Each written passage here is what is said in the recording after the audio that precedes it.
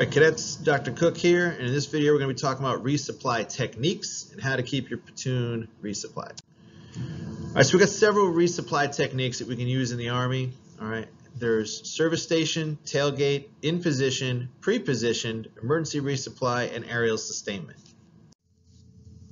Okay, so let's talk about some of those techniques, and let's start with the service station technique.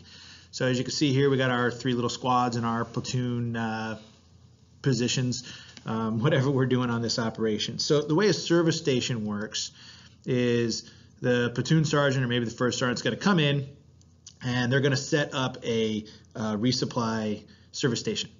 Uh, which means they're going to set up one location with perhaps water, food, uh, somewhere to collect EPWs and stick them in to hold them, um, medical care for the unit. And they're going to set that uh, probably behind a terrain feature uh, from your platoon position. And then what you're going to do is rotate. Each squad will come out of its position uh, and go through that service station uh, in turn. Um, and this could happen too. I mean, the company could do this, and then each platoon pulls out of position. Um, it doesn't have to necessarily be by squad and for a platoon, but but for your unit, each sub element is going to come out and go through all the stations in the service station. There's usually one way flow through it. Um, if you've got mounted units, there'd be uh, refueling somewhere in there or maintenance for them to pull off and do a pit stop, and you would drive through this thing in, in order. And then uh, once all of your units are through, the platoon sergeant's going to pack everything up and he's going to leave. And that's the service station method. Now, this is a good one to use when enemy contact is not likely.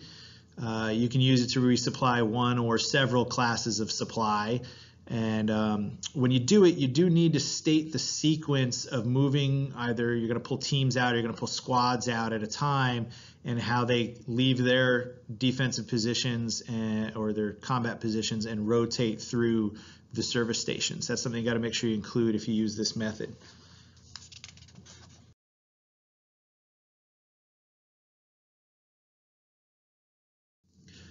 Let's talk next about the tailgate method of resupply. So once again, we've got our squads out in our platoon uh, combat positions here. Uh, so in the tailgate method, uh, platoon sergeant's going to bring, uh, you know, his vehicle or whatever up.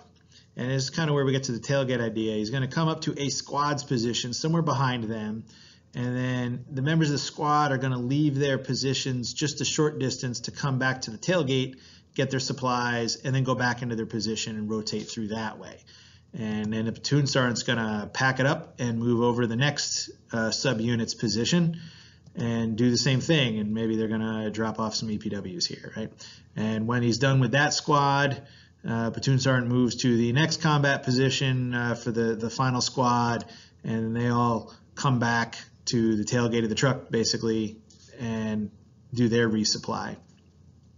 And then once we've gotten all of the subunits in our platoon, all the squads in our platoon done, uh, platoon sergeant takes all that and leaves.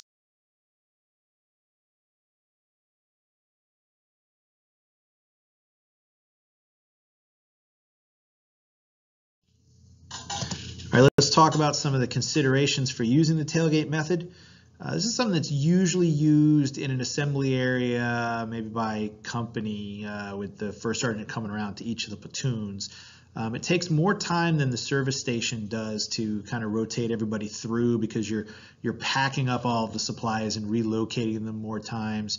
Um, but you can use it to resu resupply one or several different classes of supplies if you needed to. So that's the tailgate method.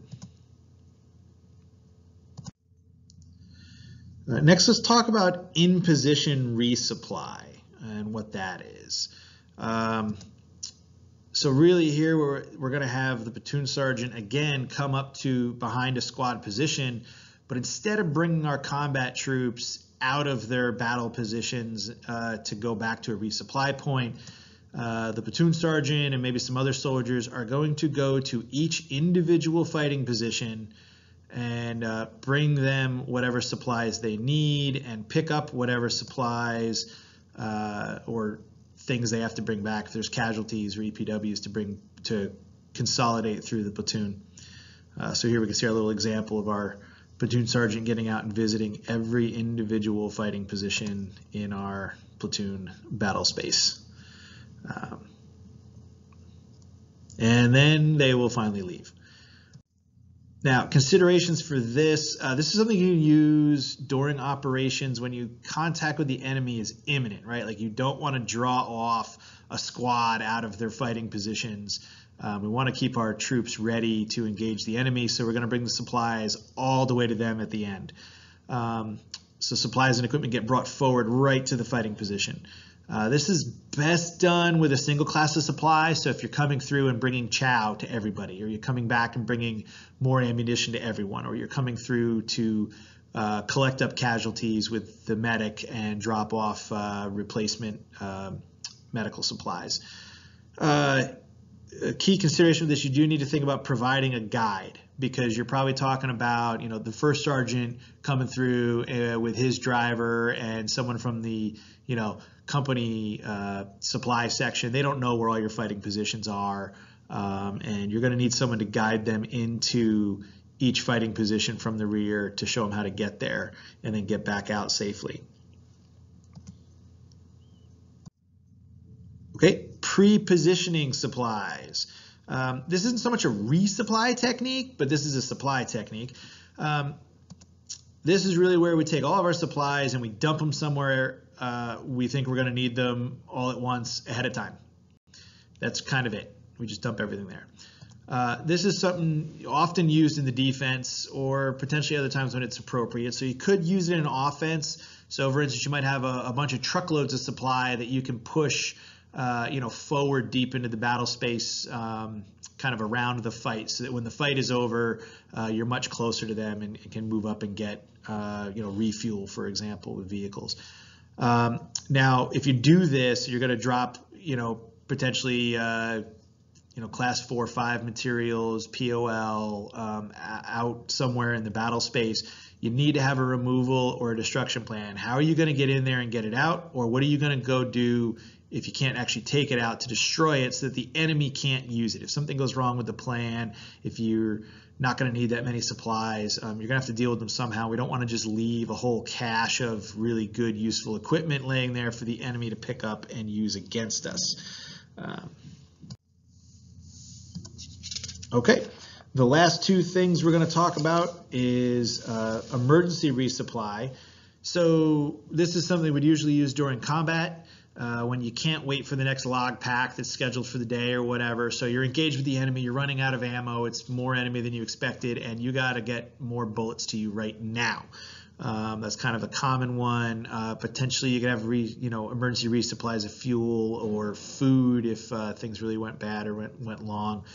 Um, when you do an emergency resupply, it's really a matter of going up through the battalion and pushing out, um, you know, supply and transportation assets uh, from the battalion level uh, or you know company level medics or something to come out to your position and service you. Now, when they get there, you could end up using a service station or tailgate method once they are on site. So emergency resupply really deals with the fact that they're having to come out of cycle and deal and help specifically with your situation.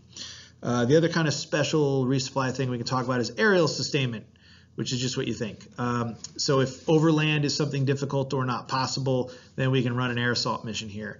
Um, this is something that needs to get prepared um, ahead of time. You need to make sure your unit is at the right place at the right time to pick up those supplies because those aircraft are going to come in and drop their stuff and someone needs to be there to get it.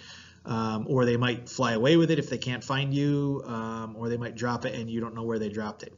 Uh, a consideration with this too is that your unit is going to need to return any of the slings or other equipment they use to airdrop that in. So they're going to bring you not only the supplies you need, but some other gear that you're responsible for getting out of there and bringing back uh, so that it can get used again in the future. Um, so just a consideration to think about when you do that. All right, so that covers uh, our different methods of conducting resupply within our units, so you can use those in your sustainment planning.